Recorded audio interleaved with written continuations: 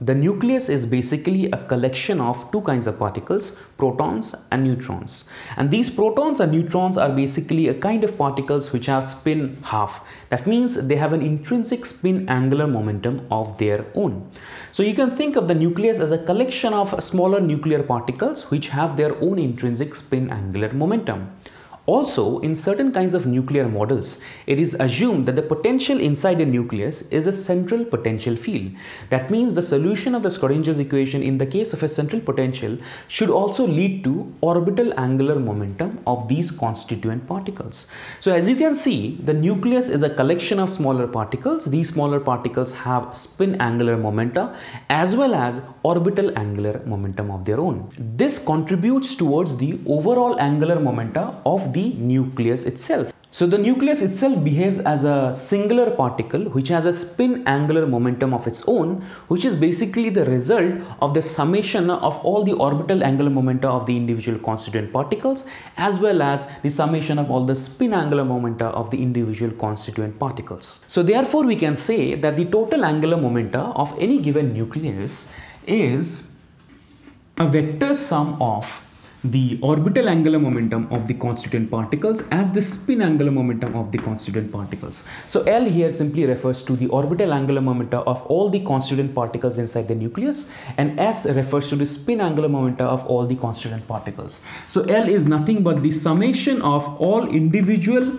angular momenta of all the particles and S refers to the summation of all the spin angular momenta of all individual particles. Now in quantum systems, angular momentum is a kind of a physical quantity which experiences quantization not only with respect to its magnitude but also with respect to its direction. Now I have made a previous video where I discuss what quantization of angular momentum really is. In that video, I discussed the case of an electron moving around the nucleus and how the electron has two kinds of angular momenta associated with its motion, orbital angular momentum and spin angular momentum. And in both these two cases, the angular momenta has quantization of magnitude as well as quantization of direction. Now, if you're not familiar with quantization of angular momentum, then you should check out that video because I discussed the idea of quantization of any given quantum particle extensively in that particular video. Now, it just so happens that the total angular momenta of a nucleus also shows quantization not only its magnitude but also in its direction. So, the nucleus basically behaves as a singular particle just like neutrons, protons or electrons. The nucleus behaves as a singular particle whose total angular momentum shows quantization with its magnitude and also in its direction. The magnitude quantization of any given nucleus is given as root over i i plus 1 h cross. So the magnitude of the uh, total spin angular momenta of any given nucleus is given as root over i i plus 1 h cross. Here i is basically a quantum number that can take values of 0, can take values of half, 1, 3 by 2 and on and on. This is sometimes also sometimes referred to as nuclear spin. So this expression basically gives you the quantization of the nuclear uh, angular momentum magnitude. Also, the direction in which this angular momentum is oriented in space is also quantized and its rule is basically given by the z component of the angular momentum with respect to some kind of a z axis is basically equal to m h cross where m is basically equal to minus i minus i minus 1 up to i minus 1 and i. So basically m can take 2i plus 1 values from minus i to plus i with a difference of plus minus 1. Now before I talk about in what kind of circumstances the nucleus spin can have values of 0, half, 1 and 3 by 2, let's first look at these uh, space quantization of a given nucleus. So let's take the example of i is equal to 3 by 2. So for the case of i is equal to 3 by 2, m can take values of minus 3 by 2, minus half, half and 3 by 2. So there are four possible values of, values of m. And uh, the z component of the angular momenta along a z axis can also have four different values. Minus 3 by 2 h cross minus half h cross half h cross and 3 by 2 h cross. The way this can be visualized uh, or the way this kind of a motion is represented in three-dimensional space is given by this particular diagram. So this is what you have the z axis. And these are basically the z components of the angular momenta of the nucleus. So this represents the 3 by 2 h cross value, this represents the half h cross value, this represents the minus half h cross value and this represents minus 3 by 2 h cross value. So along the z axis, these are the z components of the angular momenta. So basically what is happening is that if the nucleus is uh, uh, uh, rotating or it has a certain kind of a spin in a given direction, then the angular momenta is oriented in a certain direction in space such that its z component is any one of these values. So for the first case, for the 3 by 2 h cross value, the nucleus has a certain angular momenta in a particular direction so that its z value or z component is 3 by 2 h cross. Now in three-dimensional space, this basically leads to the possibility of the orientation of the nuclear uh, spin to be along a particular conical section. So if the nucleus precesses around the z-axis along this conical section, then all of these different directions will basically result in a z component which is 3 by 2 h cross. So for the case of 3 by 2 h cross, the nucleus is basically precessing around the z-axis so that the z component of the angular momenta gives you a value of 3 by 2 h cross. Similarly, for the case of half h cross, the nuclear uh, spin is precessing around a particular conical section. For the case of uh, half, minus half h cross, the nuclear uh, spin is precessing around another particular conic section. And for the case of minus 3 by 2 h cross, the nuclear uh, uh, spin is precessing around, around any uh, some other kind of a conical section.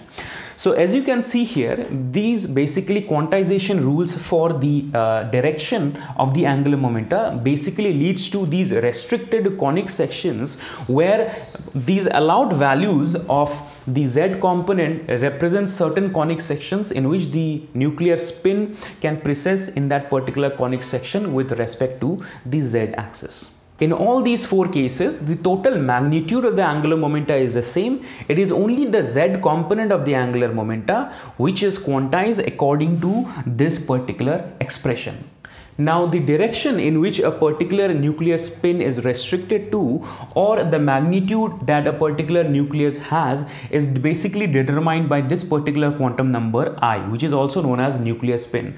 Now what should be the value of nuclear spin for a given nucleus? We can determine the value of a nuclear spin quite easily for the ground state configuration of a given nucleus by looking at how many number of protons and how many number of neutrons the nucleus possesses.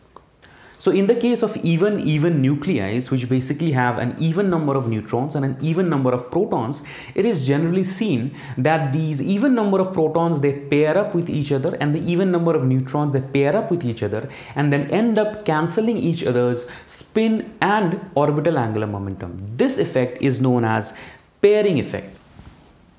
So what happens in the case of the pairing effect is that neutrons will pair up with other opposite spin neutrons and cancel each other's spin and angular momenta and protons will pair up with opposite spin protons and cancel each other's spin and uh, orbital angular momenta.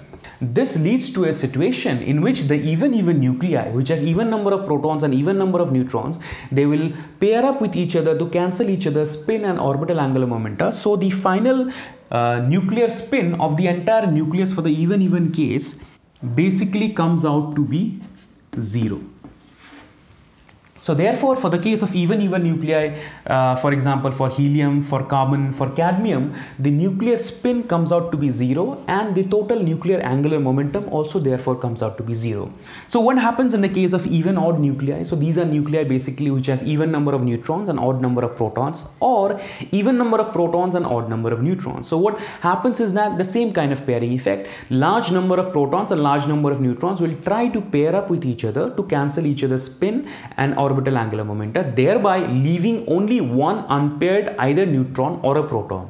That particular unpaired neutron or proton will contribute towards the spin of the entire nuclear system. So basically what is happening is that all the neutrons and protons existing inside the nucleus they, are, they try to pair up with each other and they form a certain kind of a central core in which the core itself has zero angular momentum.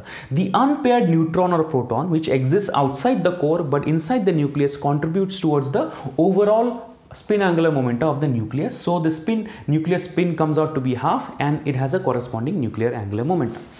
Lastly, we have the odd odd nuclei which basically have an odd number of neutrons and odd number of protons. In these cases, you have the large number of protons and neutrons again pairing up to cancel each other's spin and orbital angular momenta. But there is an unpaired neutron and an unpaired proton also present in this case, which therefore contributes towards the overall spin of the entire nucleus. And in this case, the nuclear spin has a value of 1. So as you can see, pairing effect plays a very important role in determining what is the nuclear spin and the nuclear angular momentum of any given nucleus of an element. Vast majority of the protons and neutrons, they try to cancel each other's spin by pairing with each other and then forming a core inside the nucleus which basically has zero angular momentum. And the unpaired neutron or proton which exists outside this core but inside the nucleus, they end up contributing towards the spin and the overall spin angular momentum of the given nucleus. This is all as far as nuclear spin and angular momenta is concerned. Uh, that's it for today's video and uh, see you in the next one.